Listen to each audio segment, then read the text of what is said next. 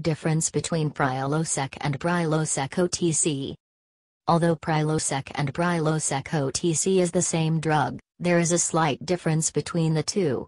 Prilosec or Prilosec OTC, both are coming under the drug class category of proton pump inhibitors.